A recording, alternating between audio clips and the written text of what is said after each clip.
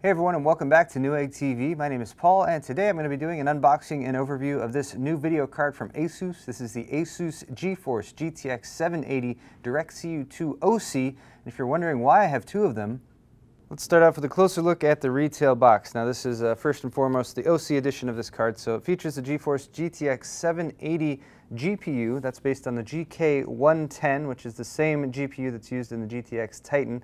Uh, and this one is overclocked right out of the box. So uh, the standard overclock spec for a standard 780 is going to be 863 megahertz with a 902 megahertz boost clock.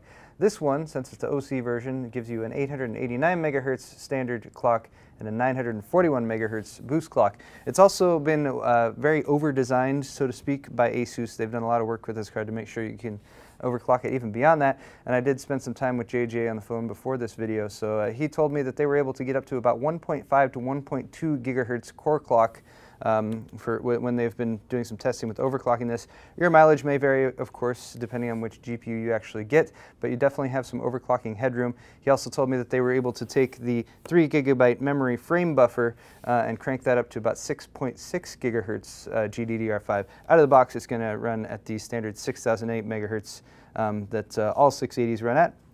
But you do have the option, of course, by uh, way of ASUS's GPU Tweak software, you can use that to overclock your video card uh, from the operating system, which is a very nice, smooth, and easy experience. And of course, you have GPU Boost 2.0 capabilities with this card, um, so you can set a temperature target, uh, and then you also have some other tweaks and tunings that you can do within that software as well. You also notice Windows 8 ready, and uh, ASUS has actually taken some special steps with this card to make sure that it is UEFI ready. So if you have a uh, current generation motherboard uh, with the UEFI, um, you could, this card actually ships with a compatible VBIOS so that when Windows 8 is doing the installation, um, it can actually set you up for the fastest possible boot times um, when it's going through the initial system startup. So a lot of work that's gone into that as well as with the uh, cooling system here, the DirectCU2 unit, uh, which has direct copper contact. I'm going to give you, give you guys a closer look at that when I get this out of the box, which I promise I will do eventually.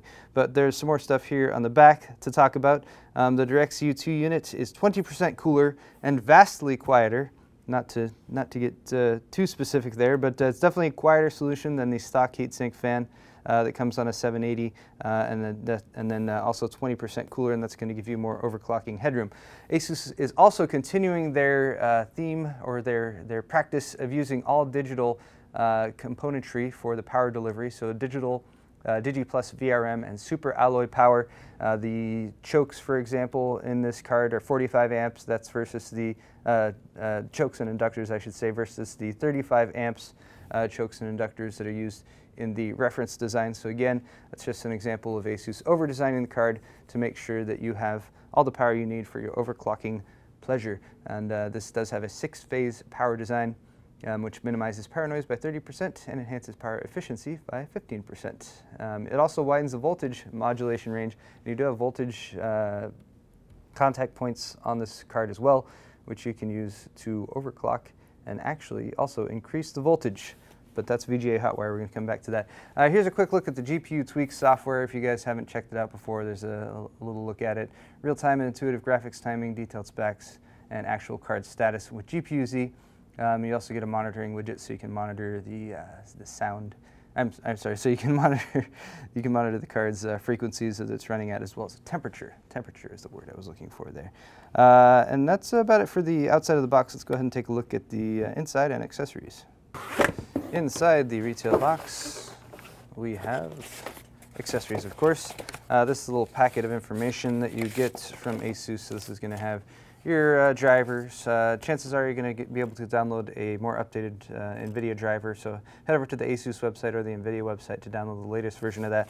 You do get a copy of the manual on here, as well as the VGA Tweak software, uh, which you can also download from the ASUS website, if, if that's your thing. Uh, apart from that, we get a nice little assortment of accessories in here. Uh, first off, we have a power adapter. So this is going to take a couple 6-pin PCI Express or PEG connectors, PCI Express graphic connectors, and uh, combine them together into a single 8-pin uh, to provide uh, enough power for the card. Uh, in case you're wondering, ASUS is recommending a minimum 600 watt power supply for your entire system and this card. I generally recommend going a bit beyond that because it's always good to have some headroom in case you add hardware in the future. Uh, particularly if you're going to be overclocking. But uh, you also get a DVI to HDMI adapter, which uh, may come in handy if you're connecting up HDMI uh, monitors to this, for example, or perhaps a television.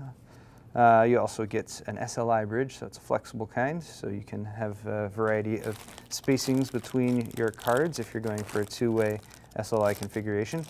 Uh, you also have an LN2 MOS heatsink. So um, if you are going to be choosing this card for uh, actually removing the direct DirectCU2 cooler and going with, uh, say, a water block for water cooling, or if you're going to go even beyond that and use LN2 or something like that, uh, you do still want to ha have a heat sink on your power delivery components.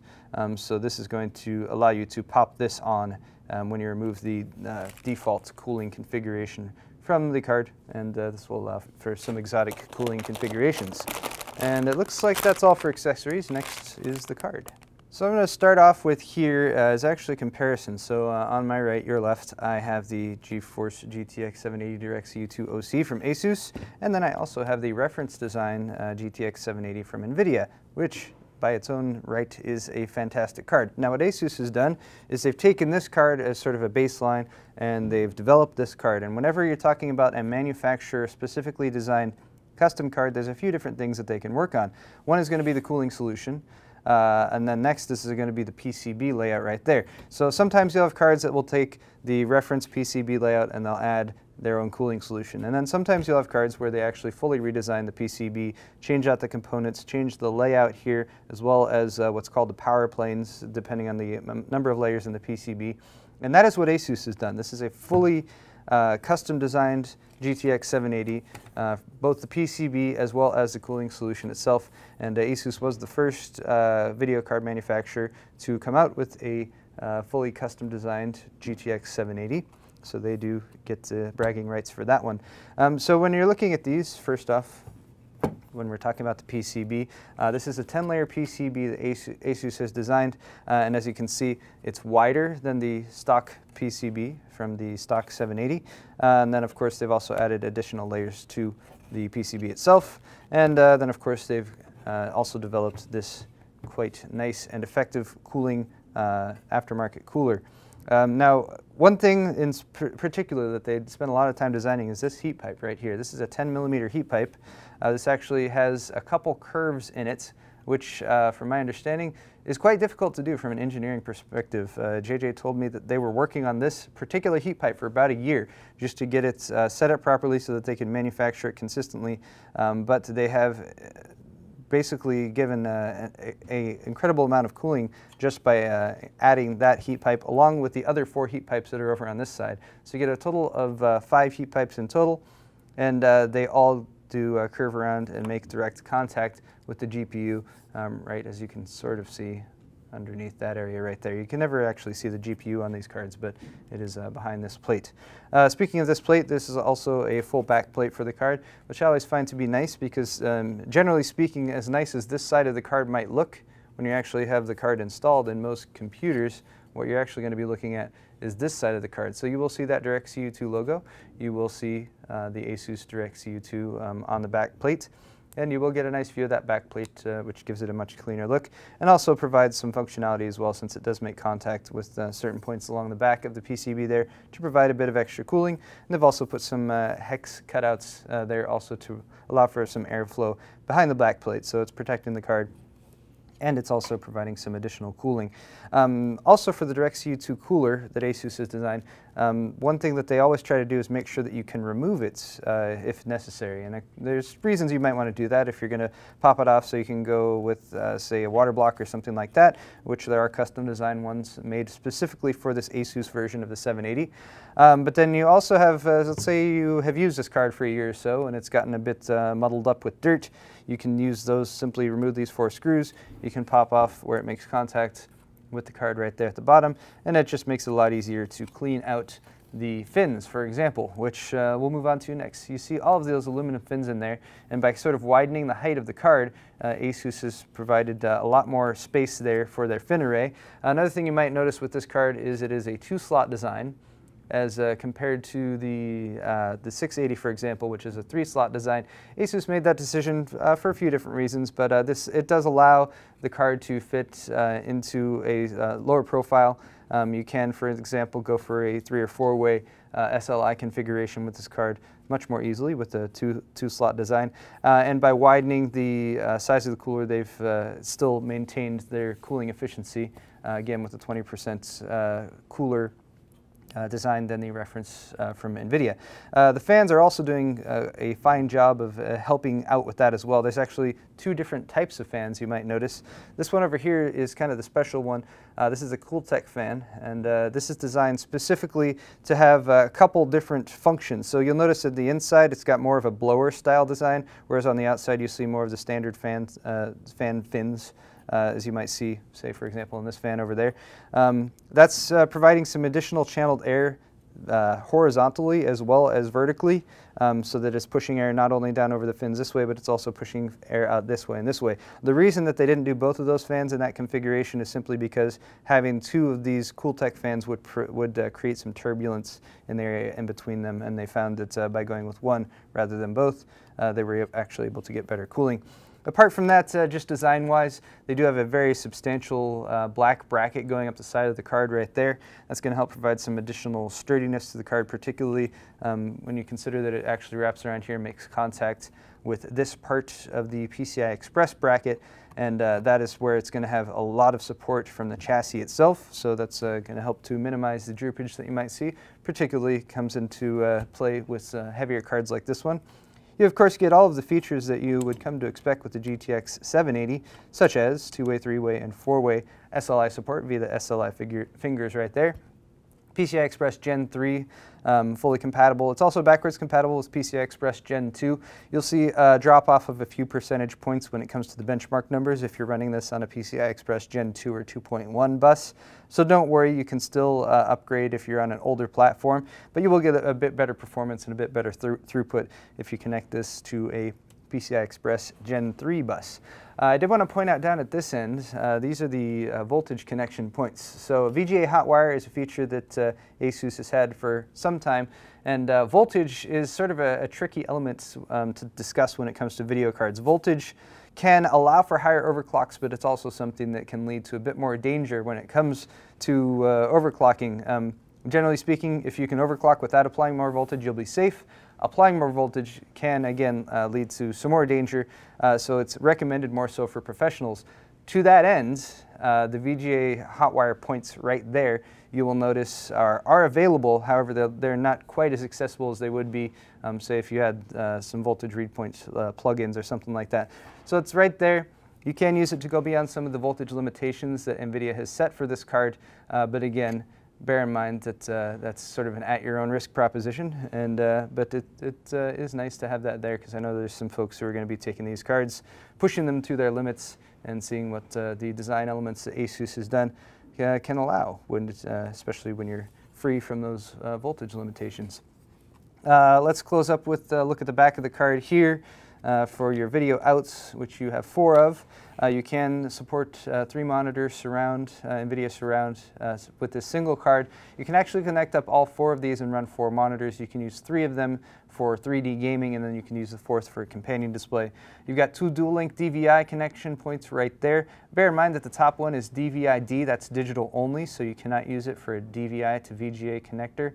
Um, the bottom one is DVI as uh, digital as well as analog, so you can use that if you're going to use one of those DVI to VGA adapters if you have an older monitor you're connecting to. You've also got HDMI 1.4 and DisplayPort 1.2.